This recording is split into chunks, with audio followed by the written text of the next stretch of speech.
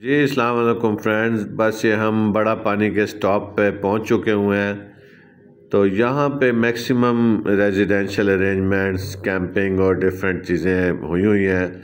यूँ समझ लें कि ये इस पूरे देवसाई में मुझे सबसे ज़्यादा पॉपुलेटेड जगह लगी है, जहाँ पे ह्यूमन इंफ्रास्ट्रक्चर भी मौजूद है। ये एक चेक पोस्ट भी है। और डस्टबिन जो लगे हुए हैं, उनके ऊपर भालुओं की तस्वीरें भी बनी हुई हैं। यहाँ पे आप देख सकते हैं। तो भालू यहाँ पे बकसरत पाए जाते हैं, बहुत सारी वीडियोस हैं। चूँकि ये सनी डे है तो इस वक्त में फिर ये ज़्यादातर ऐसी जो जानवर हैं वो हाइबरनेट हो जाते हैं। ये देख रहे हैं सस्पेंशन ब्रिज है। ऐसे ब्रिजेस के ऊपर बहुत एहतियात से चलें। मेरा भी ये ख्याल था कि बड़ा छोटा सा ये ब्रिज है और मैं तो ऐसे हँसते भागते क्रॉस कर जाऊँगा। लेकिन ये चूँकि झूलते हैं तो बहुत मुश्किल हो जाता है इनके ऊपर चलना। तो एहतियात करें। और कोई आपके हाथ में कैमरा है, किसी किस्म का अच्छा सेल फ़ोन है तो वो काइंडली जेब में डाल लें अदरवाइज़ आपकी सारी चीज़ें बर्बाद हो जाएँगी। अगर कोई आपके पास वाटर प्रूफ सेल फ़ोन है तो फिर खैर है। लेकिन वो भी जब हाइट से नीचे गिरेगा पत्थरों के ऊपर जाकर, क्योंकि इस पानी के नीचे पत्थर हैं तो वो भी शायद डैमेज हो जाएगा। तो लिहाजा अपनी यादें ख़राब ना करें। ऊपर सब चीज़ें अपनी पॉकेट्स में सेफली डालें और बड़े अच्छे तरीके से ग्रिप करके चलें। ये मैं जनाब दूसरे एंड पर इस ब्रिज के पहुँच चुका हुआ हूँ। तो बड़ा इसके ऊपर मज़ा भी आता है चलने का थोड़ा सा हल्का सा डर भी फील होता है, लेकिन नीचे पानी इतना ज़्यादा गहरा नहीं है। लेकिन फिर भी अगर आप गिरें तो चोट वगैरह लग सकती है। ये देखें, दूर आपको कैंप्स नज़र आ रहे हैं। ये पुख्ता कैंप्स नहीं है, ये कपड़े के और इस तरह के दूसरे जो मटेरियल बने हुए हैं। वो सामने जो वाइट कलर के आपको कैंप्स नज़र आ रहे हैं, वो फाइबर ग्लास के बने हुए अच्छे कैंप्स हैं मतलब स्ट्रॉन्ग कैंप्स हैं।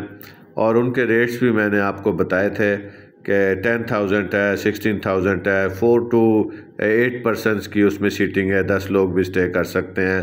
तो मील्स वगैरह के चार्जेस मुझे नहीं पता उनके। तो ये इस बड़ा पानी के स्टॉप के ऊपर लोग बहुत ज़्यादा स्टे करते हैं। ये पानी के करीब चलते हैं जनाब, ये चूँकि थोड़ा सा नीचे पत्थर डार्क कम्प्लेक्शन के हैं, इसलिए ये कुछ थोड़ा सा डार्क ब्लैक कलर का पानी नज़र आ रहा है। और आप देखें कम्बिनेशन ऊपर बादल देखें कितने करीब तैरते हुए फील हो रहे हैं।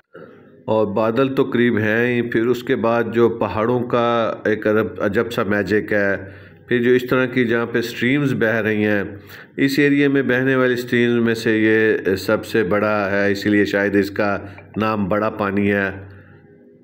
ये कुछ मुख्तलिफ़ से आप पुल को क्रॉस कर रहे हैं।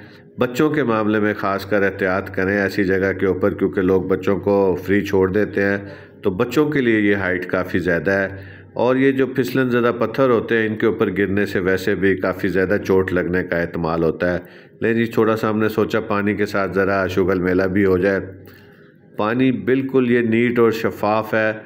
मतलब ये जो ऊपर मौजूद हैं, ये पानी के छींटे उड़ाने को दिल कर रहा था। तो मैंने कहा, चलें, थोड़ा सा खेल लें। लेकिन पानी बहुत ठंडा था ये।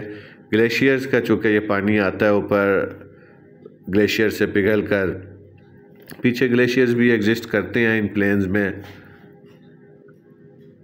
ये वाले जो सामने वाइट हट्स हैं, ये बहुत ही खूबसूरत लोकेशन पर हैं, क्योंकि इनके सामने छोटी सी एक आबशार बनती है। पीछे पानी हाइट पे आ रहा है, फिर आगे थोड़ा सा आबशार की सूरत में ये गिरता है, चार पाँच फुट की आबशार है तो बहुत उसका खूबसूरत व्यू मिलता है। तो हमने आगे भी डिपार्चर करना है, वरना मेरा इरादा एक दफ़ा बन रहा था कि मैं पैदल चल के जाऊँ और इनके पास जाके आपको वीडियो वहाँ से दिखाऊँ। लेकिन पहाड़ों में एक और मसला भी होता है कि लोकेशन दूर होती है, खुला इलाका होने की वजह से बैकग्राउंड में ऊँचे पहाड़ होने की वजह से, वो आपको बहुत करीब फील होते हैं। ये प्लेसेस रियली बड़ी मैजिक हैं। मतलब अगर आपने अपना कंट्री फुली एक्सप्लोर नहीं किया ना तो मेरा ख्याल है कि आपने बहुत मिस कर दिया है। लेकिन it's never too late to mind आप अभी भी जनाब अपना एक ट्रैवल बैग तैयार करें और निकल पड़ें। इकनॉमिकल प्राइसेस हैं इन क्लब्स की अट्ठाईस हज़ार, तीस हज़ार, बत्तीस हज़ार। ये थोड़ा जूम करके मैं आपको ये वाली कनोपी वाले फाइबर ग्लास के हर्ट्स दिखाने की कोशिश कर रहा हूँ। आप जाएँगे और ये सामने ट्रैक है जो आगे शेवसार लेक की तरफ़ जा रहा है। ये आपको सामने इन हर्ट्स के बैक साइड पे नज़र आ रहा है। तो ज़रूर जाएँ, जवानी में ही जाएँ, क्योंकि बाद की एज में फिर डिज़ीज़ का जब लोग शिकार हो जाते हैं, किसी को sugar blood pressure uric acid फिर इन प्लेसेस का सोच के भी बंदे की हिम्मत जवाब देने लग जाती है।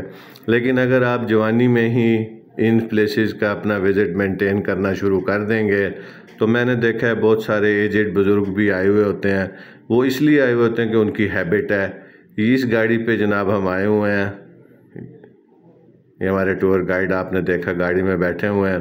तो इस इलाके के लोग भी बहुत अच्छे और कोऑपरेटिव हैं। फुली ब्रीफ आउट भी करते हैं। ले जी, अब हमारा श्योसार लेक की तरफ़ का ट्रैवल शुरू हो गया हुआ है।